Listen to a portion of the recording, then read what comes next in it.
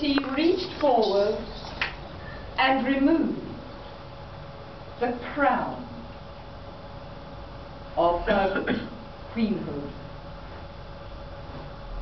Inanna said, What is this?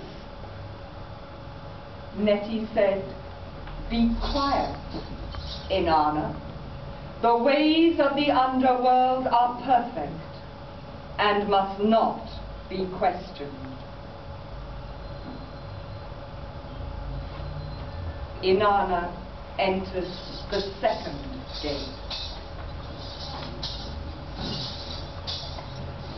Neti reached forward and removed the small lapis beads from around her neck.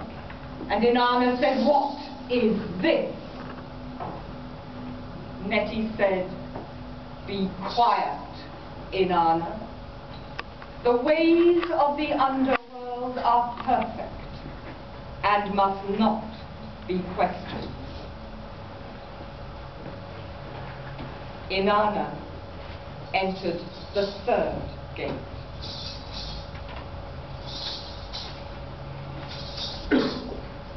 Neti reached forward and removed the double strand of beads from around her neck. Inanna said, What is this? Neti said, Be quiet, Inanna. The ways of the underworld are perfect and must not be questioned.